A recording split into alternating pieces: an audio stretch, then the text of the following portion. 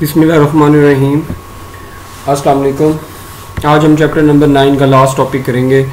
Family है angiosperm की Mimosaceae इसका कॉमन नेम है मिमोसा या अकेसिया फैमिली इस फैमिली में टोटल 56 जनरा हैं और इस, इन 56 जनरा में 2800 स्पीशीज़ मौजूद हैं। पाकिस्तान में 11 जनरा और 49 स्पीशीज़ हैं। और इनमें से जो, इन 11 जनरा में से फोर जनरा और इन 49 स्पीशीज़ में से 18 जो स्पीशीज़ हैं वो नेटिव हैं, यानी पाकिस्तान की अपनी लोकल हैं, जबकि बाकी जो है ना वो दूसरे कंट्रीज़ से पाकिस्तान में लाई गई हैं। तो वो नेटिव नहीं है, वो पाकिस्तान की लोकल नहीं है, वो वो हमने दूसरे कंट्रीज़ से लिए हैं। इसके जो फ़ेमस जो प्लांट्स हैं एकेसिया नोलोटिका कीकर albizia lebbeck mimosa pudica touch me not इसका कॉमन नेम है। प्रोसोपिस ग्लैंडुलोजा और प्रोसोपिस सिनेरेरिया तो ये इसके जो है ना वो फ़ेमस प्लांट्स हैं। शॉर्ट क्वेश्चन में फ़ेमस प्लांट्स के बारे में पूछते हैं तो ये आपने याद रखने हैं। इकोनॉमिक इम्पोर्टेंस लॉन्ग क्वेश्चन के लिए इम्पोर्टेंट है। एम सी यू भी शॉर्ट भी। तो इस फैमिली के बहुत सारे जो ट्रीज हैं, जिनमें अकेसिया एल्बीजिया और जाइलिया इन इन तीनों स्पीशीज के जो ट्रीज हैं, वो कमर्शियली इम्पोर्टेंट वुड प्रोवाइड करते हैं। यानी कि उनसे हम वुड लेते हैं, उन वुड को फिर हम आगे यूज़ करते हैं। कंस्ट्रक्शन में और बिल्डिंग्स में, उसके अलावा फर्नीचर के लिए हम इनकी वुड यूज़ करते हैं। और एज आ फ्यूल जलाने के लिए भी एज ईंधन के लिए भी जलाने के लिए भी हम इनकी वुड को जो है ना वो इस्तेमाल करते हैं। एल्बीजिया लेबिक की जो वुड है वो कैबिनेट वर्क जो अलमारी होती हैं जो अलमारी में खाने होते हैं तो वो इन वुड से आ, बनते हैं।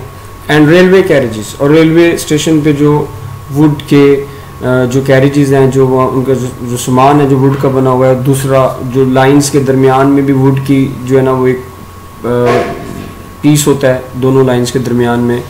अभी तो वो रिप्लेस कर रहे हैं सीमेंटेड से, लेकिन पहले उन दोनों जो जो पटरी है, दोनों जो पटरी जो होती है, उनके दरमियान में जो है ना वो लकड़ी के तख्ते थे। वो लकड़ी के जो तख्ते हैं, वो पीसीस जो है ना वो इसी एल्बीजिया लेबिक की वुड के बने होते थे। बट अब वो लकड़ी के जो है ना वो जो तख्ते हैं, उनको रिप्लेस करके सीमेंट के उनसे रिप्लेस किया जा रहा है। अरेबिक गम गूंद को कहते हैं। गूंद जो हम यूज़ करते हैं।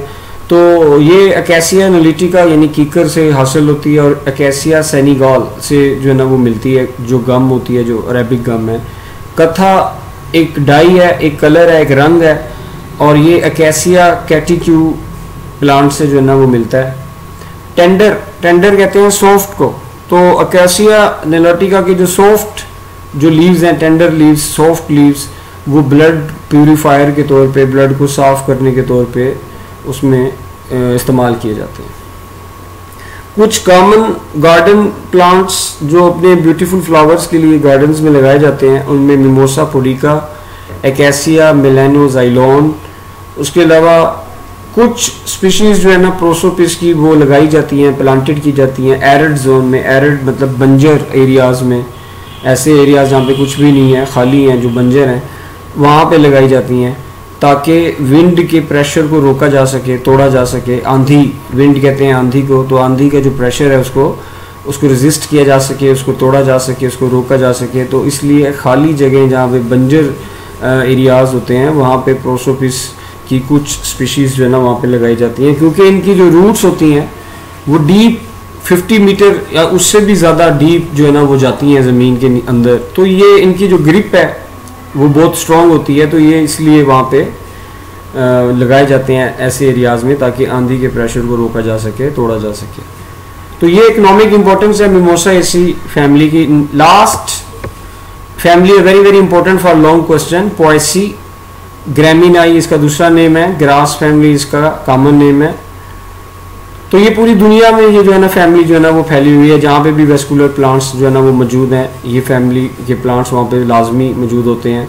इनके टोटल 600 जनरा है सबसे ज़्यादा अभी इनमें जितनी भी फैमिलीज़ पढ़ी हैं उनमें सबसे ज़्यादा जनरा इसी फैमिली की हैं और सबसे ज़्यादा स्पीशीज़ यानी 10,000 स्पीशीज़ भी इसी फैमिली की हैं। पाकिस्तान में 158 जनरा है और 492 स्पीशीज़ हैं। तो सबसे ज़्यादा जो पाकिस्तान में प्लांट्स पाए जाते हैं उनका ताल्लुक भी इसी फैमिली से है। जो ट्रेडिशनल फैमिली नेम यानी इसका जो रवायती जो नेम है, जो इसका जो चलता आ रहा है, पुराना जो इसका फैमिली नेम वो ग्रामीन आई है। और ग्रामीन आई जो है ना, वो लैटिन ग्रामर से लिया गया है, यानी लैटिन लैंग्वेज से ये नाम लिया गया है। लतीनी ज़बान से ये नाम जो है ना, वो लिया गया है। और ये एक जेनरिक नेम है जेनरिक मतलब कॉमन नेम है, जो कि ग्रासेस के लिए यूज़ किया जाता है ग्रेमिनाई और इस नाम को अलाउ किया international code of binomial nomen जो इंटरनेशनल जो इदारा है या जो है ना वो ग्रुप है जो कि डिसाइड करता है कि, कि क्या साइंटिफिक नेम्स होंगे ऑर्गेनिजम्स के। तो उस international code of binomial nomen ने इस नेम को ग्रामीनाई को ग्रासिस के लिए एज अ जेनरिक नेम के तौर पे यूज़ करने के लिए अलाउ किया हुआ है। तो पोएसी का जो नाम है जो पोएसी नाम जो यूज़ किया जाता है वो आ, इसकी एक टाइप है एक जीनस इसकी है इसका नाम है पोआ और इस जीनस का जो नाम है वो लिन लिन मतलब लीनियस कैरोलस लीनियस जो कि असल बानी है जो कि असल फाउंडर है बाइनोमियल नोमन का जिसने बाइनोमियल नोमन सिस्टम बनाया था। तो लीनियस ने इस फैमिली को इस में फैमिली को पॉइसी का नाम दिया था। और इस फैमिली के अंदर एक जीन, एक जीनस है, उसका नाम पोआ है। उसकी वजह से इसको पॉइसी का नाम दिया था लीनियस ने। तो ये इसका दूसरा नाम इसलिए है और ग्रामी नाई जो है ना अब वो यूज़ होता है इनके लिए ज़्यादातर। फैमिलियर प्लांट्स, मशहूर प्लांट्स कौन से हैं? इसमें ट्राइटिकम वलगैरी, व्हीट, गंदम को कहते हैं, जिया मेज, कॉर्न, मकई को कहते हैं, एविना सेटिवा, ओट्स और oryza sativa rice, bambusa, bamboo बाँस को कहते हैं। सैक्रम ऑफिसिनियरम गन्ने को कहते हैं शुगर केन को कहते हैं economic importance very very important long question economically जो फैमिली है पॉइसी इसकी जो इम्पोर्टेंस है, वो किसी भी दूसरी फैमिली फ्लावरिंग प्लांट्स यानी एंजियोस्पर्म की दूसरी फैमिलीज़ हैं, उनमें से सबसे ज़्यादा जो इम्पोर्टेंस है, वो पॉइसी फैमिली की है तो एमसीक्यू में भी याद रखिएगा। तो इसकी जो इम्पोर्टेंस है, वो दोनों के लिए है मैन के लिए भी है और एनिमल्स के लिए भी है। सीरियल्स अनाज जो होता है मिलट्स दाने होते हैं, अनाज के दाने मिलट्स ये मेन फ़ूड है, जो कि मैन काइंड यूज़ करते हैं, इंसान यूज़ करते हैं, अनाज, और उसके अलावा दूसरे जो दाने होते हैं, जैसे बाजरा है। तो ये उनका ताल्लुक भी इसी फैमिली से है। बहुत सारी जो फोडर क्रॉप्स हैं, यानी चारे वाली जो फ़सलें हैं, जिनसे चारा बनता है, वो डोमेस्टिक एनिमल्स जो हम घरों में पालते हैं एनिमल्स वो डोमेस्टिक एनिमल्स हैं, उनके लिए इम्पोर्टेंट हैं। वो भी इनका ताल्लुक भी इसी फैमिली से है। वो प्लांट्स जो मैन काइंड को इंसानों को फ़ूड प्रोवाइड करते हैं, वो triticum S P S P मतलब स्पीशीज तो ट्राइटिकम स्पीशी वीट गंदम जो है, इससे फ़ूड मिलती है। एविना सेटिवा ओट जिया मेज कॉर्न या मेज भी कहते हैं इसको। और oryza sativa rice hordeum vulgare barley इनके कॉमन नेम्स हैं। सेकले सेरियली राई पेनीसीटम टाइफोडियम और सोरगम वलगैरे तो ये वो प्लांट्स हैं जिनसे फ़ूड जो है ना, वो ह्यूमन लेते हैं। ड्राइड स्टेम खुश्क जो इनकी स्टेम है और लीव्स जो हैं, इन सीरियल क्रॉप्स के यानी अनाज वाली जो फ़सलें हैं, उनके जो लीव्स हैं और उनकी जो स्टेम है, उनको ड्राई करके हम यूज़ करते हैं एज आ फोडर के तौर पे, चारे के तौर पे अपने कैटल्स के लिए, मवेशियों के लिए। शुगर चीनी जो है ना, वो सैक्रम ऑफिसिनरम यानी गन्ना जो है शुगर केन गन्ने के जूस से चीनी बनाई जाती है। बहुत सारी ग्रासेस लॉन्स में लगाई जाती हैं, जैसे एग्रोस्टिस पोआ फस्टूका और इनकी ऑर्नामेंटल सिग्निफिकेंस भी है डेकोरेशन पर्पस के लिए। बम्बूसा बम्बू यानी बाँस, ये बिल्डिंग मटेरियल है।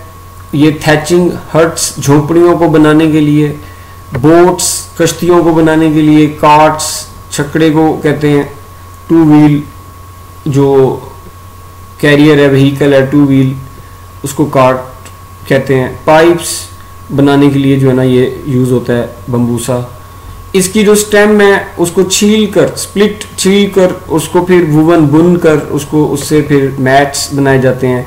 बास्केट्स बनाई जाती हैं फैंस बनाए जाते हैं हैट्स बनते हैं और कोर्स अम्ब्रेला कोर्स अम्ब्रेला मतलब हाथ से बनाई हुई छतरी। जो है ना, वो बनाई जाती हैं। मैट्स, चटाइयाँ, बास्केट्स, टोकरियाँ बनती हैं इनसे, पंखे बनते हैं इनकी स्टेम से, और हैट्स बनते हैं, और हाथ से बनी हुई अम्ब्रेला बनती है। लीव्स जो होते हैं इनके, बम्बूसा के जो लीव्स हैं, वो हॉर्सेस को दिए जाते हैं। कफ और कोल्ड, यानी बुखार फीवर और खांसी को ठीक करने के लिए। तो ये एमसीक्यू में याद रखिएगा कि बम्बूसा के जो लीव्स हैं, वो हॉर्सेस को दिए जाते हैं कफ और कोल्ड में रिली, रिलीफ देने के लिए उसको ठीक करने के लिए।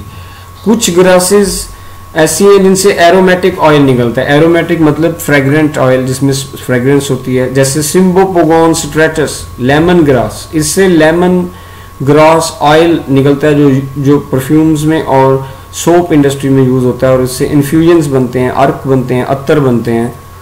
कुछ ग्रासेस की जो स्पीशीज़ हैं वो पेपर्स बनाने में भी यूज़ होती हैं। अथाइल अल्कोहल एथानॉल जो कि प्योर अल्कोहल है, और इसी तरह की दूसरी जो बेवरेजेस हैं, यानी अल्कोहलिक ड्रिंक्स वो भी सीरियल्स यानी अनाज वाली जो फ़सलें हैं क्रॉप्स हैं, उनसे बनती हैं। जैसे विस्की ये एक बेवरेज है, एक अल्कोहलिक ड्रिंक है, जो राई से बनता है। बार्ले कॉर्न इन तीनों से ये बनता है विस्की राई से भी बारले से भी कॉर्न से भी। रम मोलेसिस ये ब्राउन कलर का एक स्वीट शुगर है, एक सीरप है स्वीट जो कि लिक्विड है ये सिरप है लिक्विड है तो ये ब्राउन कलर का स्वीट और शुगर केन से बनता है, गन्ने से ये बनता है। फाइबर्स जो है ना, वो हासिल किए जाते हैं सैक्रम मुंजा पटसन कहते हैं इसको। इसके लीव्स से जो है ना, वो फाइबर्स मिलते हैं उन फाइबर्स से फिर आगे रोप्स बनते हैं, रस्सियाँ बनती हैं। रेशे कहते हैं इसको फाइबर्स को। और इन रेशे जो है ना, ये आपस में मिलके फिर इनको रोप्स बनाई जाती हैं, रस्सियाँ बनाई जाती हैं। So this is all about uh, importance, economic importance of Poissy. Important long question and this is the end of the chapter number 9. Allah Hafiz.